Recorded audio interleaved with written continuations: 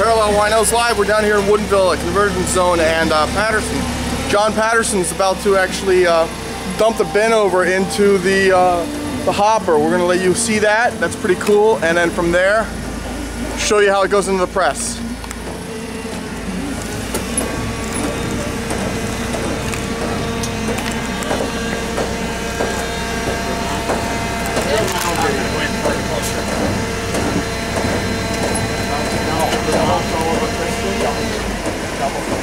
Oh, you got Kristen here, and she's helping out with, yeah, what's up, man? John, or Jack, actually. Old man Jack, there we go. Here we go.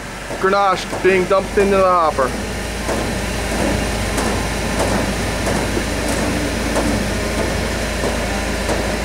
Scott's your money coming down right here. Look at that. Wow. That's beautiful. Good job.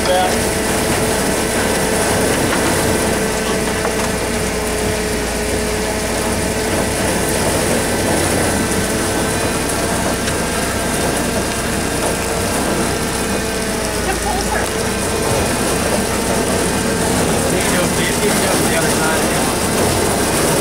Pretty around here. You got it.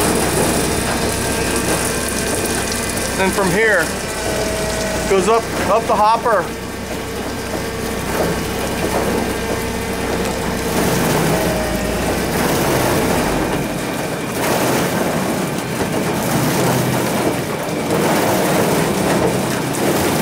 And all the way into the press.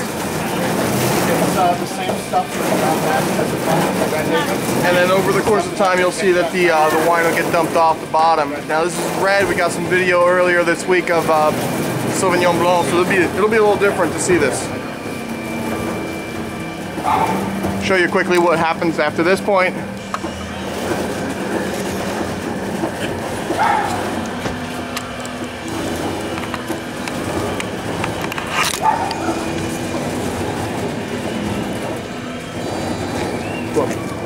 Oh, I'm gonna go up on the steps. You're right. Good call.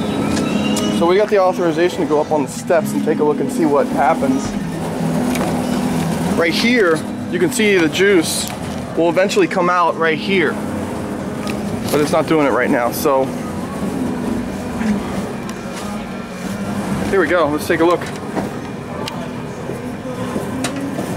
So I'm climbing up on top of the press, and you can see right here everything that's coming out from the hopper gets dumped into the inside of this press. Um, it's a bladder press, right? Okay, so the bladder press, you can see this white lining here. Uh, the grapes get shoved into uh, where the bladder is itself, and then when they rotate it, what will happen is the bladder itself will actually fill itself up with compressed air or something like that, I think. Whatever the hell they use. And um, it'll just squeeze. It'll squeeze these. It'll squeeze this. You know? And these are, I mean, these are just grapes. Grenache. Welcome to Grenache. Pretty cool, Washington State Grenache. I'm getting dirty. You know what? It's harvest. I can clean myself up. Pretty cool, pretty cool. Little Tempranillo left over in this stuff too, so it's gonna be Grenache and a little Tempranillo grapes. But they're pretty much all dried out. Anyhow, we're gonna get back to you a little bit later on. And uh, I'll film it out when it starts crushing.